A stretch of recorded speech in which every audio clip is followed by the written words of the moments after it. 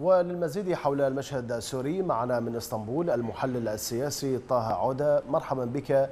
معنا أستاذ طه نبدأ من هجوم النظام على درعا جنوبي سوريا. برأيك ما هو السيناريو المتوقع هناك؟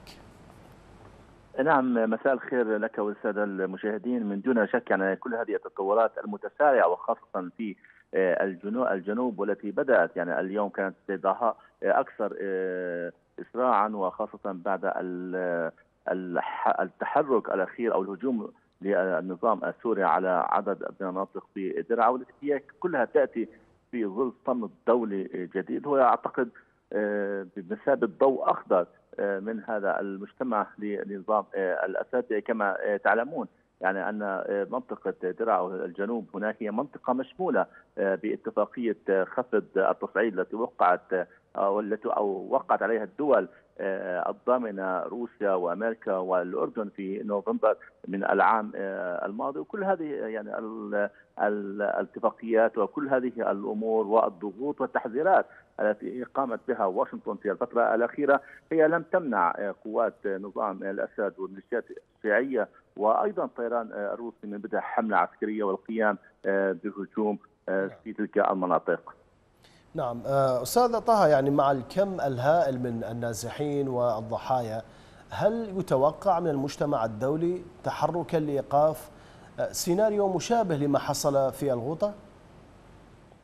يعني أتصور يعني ما يجري حاليا هو ممكن تسميته بالصفقة صفقة الجنوب. يعني هناك يعني قبل أيام أو قبل أسابيع كان هناك نوع من التحذيرات الشديده من قبل واشنطن لنظام الأسد. وأعتقد كانت هي تهدف لإخراج الميليشيات الإيرانية ولكن هذه الصفقة التي أتحدث عنها هي ما بين النظام وبين الكيان الإسرائيلي. أيضا يعني حاليا اتفاقيات خلف الكواليس ما بين الروس وما بين الأمريكان.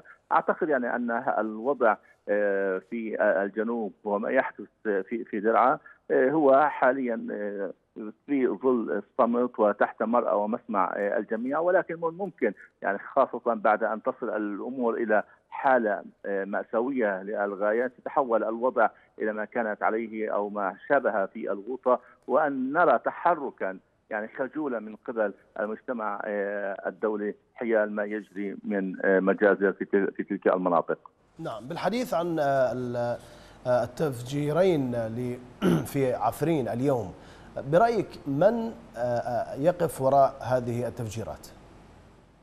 يعني كما يعني تعلمون أن عفرين وخاصة هي تم تحريرها من قبل الجيش السوري الحر والجيش التركي يعني في إطار عملية غصن الزيتون هذه التطورات هي تأتي لافتة حقيقة للأمر أنها تأتي بعد أيام قليلة من انتخابات رئاسية جرت في تركيا وحقق فيها حزب العدالة والتنمية الذي يتراسه رجب طيب أردوغان فوزا كبيرا وأيضا بعد يعني تصريحات وتلميحات بأن الملف السوري سوف يكون على رأس الأولويات بالنسبة لأنقرة في المرحلة المقبلة هناك من يريد خلط الأوراق في كل الجبهات. نعم. أستاذ طه صحيفة الاندبندنت البريطانية قالت بأن أن الولايات المتحدة تركت حلفائها في سوريا لمصير مؤلم على يد روسيا والأسد. هل فعلا هناك تفاهم روسي أمريكي على السماح للنظام بالسيطرة على درعا؟ برأيك؟ يعني هذا ما قصدته قبل قليل يعني, يعني قبل أيام وقبل اسابيع كنا نتحدث أن هناك غضب ضجر أمريكي عما يحدث ولكن أن تقوم الأليات الروسية بقصف وقتل في الاشتراك بدعم من أخوات النظام. هذه هي إشارة واضحة بأن هناك توافقات دولية وخاصة بين القطبين الروسي والأمريكي على ما يجري وكأن الأمور أصبحت فقط توزيع أو تقاسم النفوذ في المنطقة وخاصة في سوريا. نعم من إسطنبول كان معنا المحلل السياسي طه عودة. شكرا جزيلا لك.